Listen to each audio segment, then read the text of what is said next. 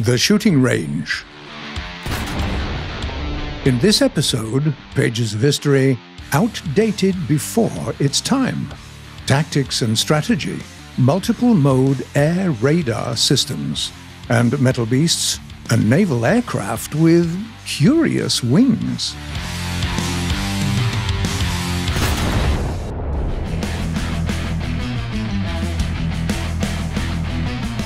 Almost every top ranking air battle has at least a single American Phantom or Freedom Fighter.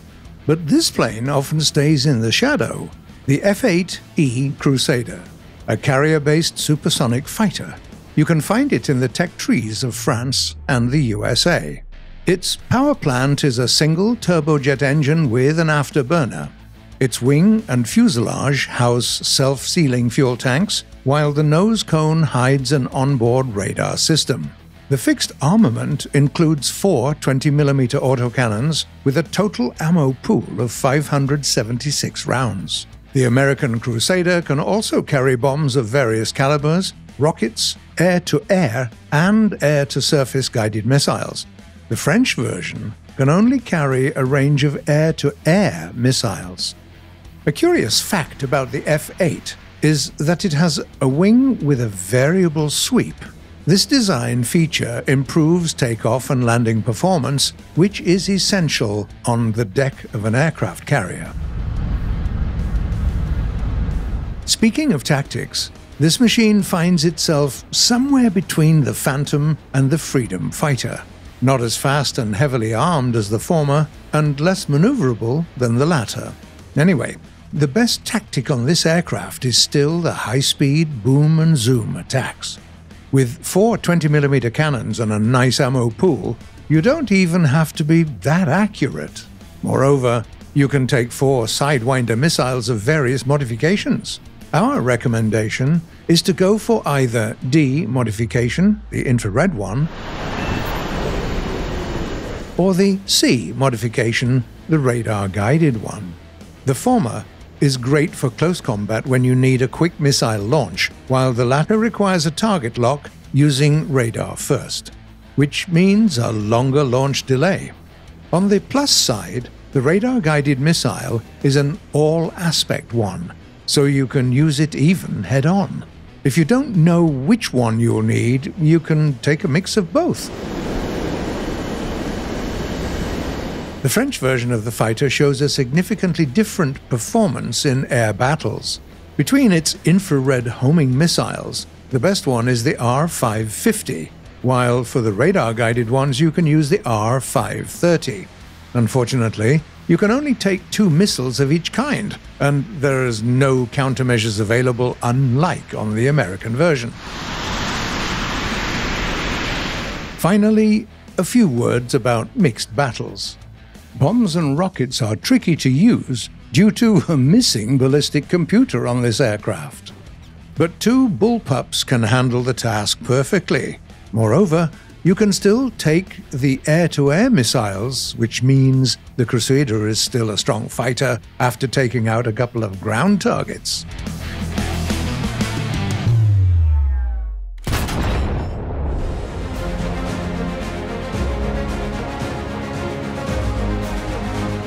The air forces of the Imperial Japanese Navy paid a high price for their arrogance. The Zeros, their best fighters with an enormous combat range, were wrecking everything all the way through Asia and the Pacific, delivering devastating blows to Allied forces, like the Typhoon.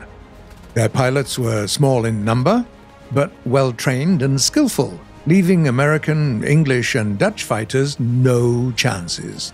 Some data says that the win ratio was 1 to 50 in the first half of 1942 in favor of Japan. Then the Battle of Midway happened. Burning Japanese aircraft carriers became bonfires signaling the grand finale of their imminent advance. And the Zero's advantages turned into flaws. Long range? What's the point if the Americans were coming so close to them now? Japanese ace pilots were down one after the other. The newest Hellcats, Corsairs, and Lightnings attacked them from above, at higher speeds and in force. No matter how many turns you can spin on your Zero, you're getting hit one way or another. A single Browning bullet to your non self sealing fuel tank, and boom! A single volley to the unprotected pilot cockpit, and the now unmanned Zero falls into the ocean. In all fairness, they could have foreseen such an outcome. They could have reduced the range to something more sensible, added some armor to the cockpit, add a CO2 compressor and self sealing walls for the fuel tanks, install a fire extinguisher, the Zero's design had enough space for all of this. But it was too late. The A6M3 modification produced in July of 1942 did have a smaller range, but only because of a more powerful Hungrier engine that had a little bit higher top speed. The survivability problem was not being solved at all. The pilots were dying and the command, in all their wisdom, switched from a long, harsh training course with careful selection to the very opposite. The front line started to receive green recruits who couldn't use the Zero to its full potential. It took them as long as until early 1944 to make the A6M5 modification with an armored cockpit and an FPE. It was also the first one to finally have large caliber machine guns replace the useless 7.7mm ones. The Air Forces only received them by the end of the year. But by that time, 1945 was dangerously close, and that year brought along the desperate Battle of Iwo Jima and defeat in Okinawa, burning Japanese cities, and finally the capitulation. But we're still puzzled. Why hadn't they introduced the 1944 improvements earlier?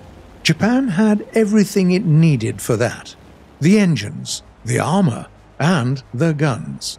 Even the design of the aircraft still had room for improvement left by the end of the war.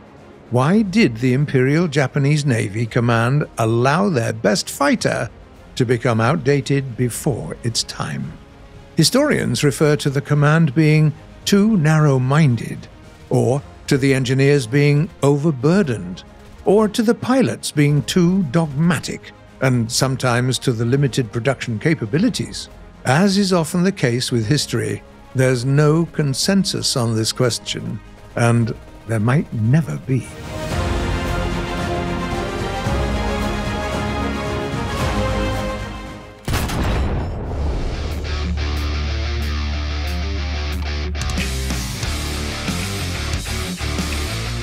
Radar has been a familiar tool for pilots of top and subtop planes for a while now, but progress has been moving forward, bringing new functions to in game radar systems. So today, we're going to help you make out what's what.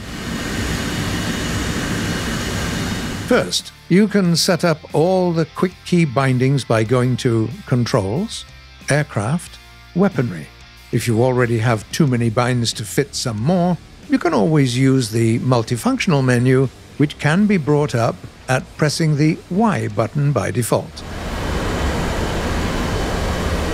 Many top fighters' radar systems have multiple working modes. To learn the specifics for each machine, go to the X ray mode and point your cursor at the radar. Now for a bit more detail. The first one is the standard mode. Your radar shows all the air targets in its view, and the friend or foe system shows which one's not friendly enough today. The main flaw here is the radar becoming unreliable when pointed at the ground or a water surface because those create interference. If you need a target lock in this situation, switch the radar to pulse Doppler mode. You can do that with the change radar slash IRST mode switch. Keep in mind, this mode turns off the friend or foe system, which might create an issue in battles with no markers for other players. Some planes like the MiG 23 also have an IRST in addition to radar. There's an option switch between radar and IRST you can use. The optical locator is unique in its stealth target acquisition capability, which means your enemy won't know they're being locked onto. Even if they have a radar warning system. By the way, it might sound counterintuitive, but an aircraft radar can help infrared guided missiles too by increasing their target acquisition range significantly. Finally, there's a way to change the radar search mode. Here's how it works. Increasing the search range makes the scanning process slower, which means a lower update speed. And naturally, you can do the opposite decrease the range and get a higher update speed. This directly impacts the amount of time your system needs for a target lock. That's why radar on most modern fighters can be switched to close combat mode. The search field becomes so narrow, it's easy to miss an actively maneuvering target, but target lock happens much faster. Well, that's basically everything we wanted to share about radar systems. Now it's time to sneak into the comments to answer some of your questions.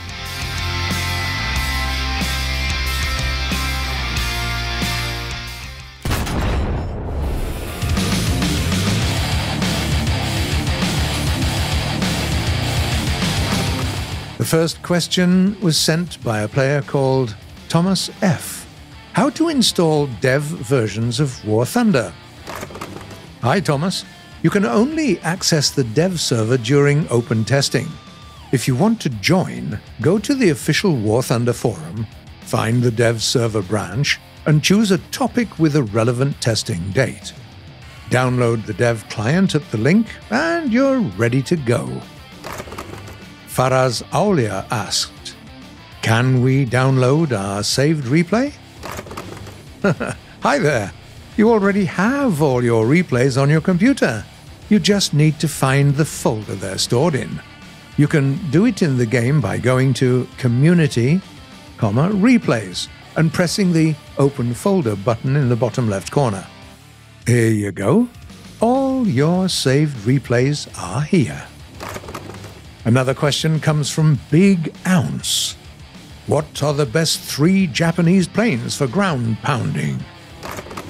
Hey, Big Ounce. Choosing only three is a pretty tricky idea since there's a lot of nuances. Let's take a look at all the noteworthy models instead. For early ranks, carrier based bombers are pretty much fun to play, especially the D4Y3 Ko and the B7A2. Among piston fighters, the best ones for assault are the A7M2, the J2M3, and the N1K2. For early jets, we recommend the Kikka and the R2Y2. As for top rank battles, the F4EJ and the F1 will perform the best. Skaken writes Does the in game map follow the cardinal directions north, south, east, and west? Hello there. The game has many locations inspired by real world places Berlin, Port Novorossiysk, advance to the Rhine, Stalingrad, Breslau, Honolulu, Port Moresby, Lake Ladoga, Malta, Sicily, Korea, and many others. On these maps, the cardinal directions are true to their real counterparts. And the last comment for today was written by Slicer Axe Gaming. What are the clamp like devices on the Merkava's cannon barrel for? Are they part of the gun assembly? Hi, Slicer Axe. These clamps hold a special heat shield. It decreases the barrel's deformation caused by uneven heating and improves the weapon's accuracy. Crikey, how time flies. Well, that's it for today, folks. You've been watching The Shooting Range by Gaijin Entertainment, and the next episode will premiere the following Sunday at 4 p.m. GMT or noon Eastern Time. Subscribe and click the bell if you don't want to miss our next videos. Uh, you know the drill, don't you? Don't forget to fill your radar fluid and leave a like. I demand it. Share your thoughts and comments, and uh, yeah, I'll see you next week.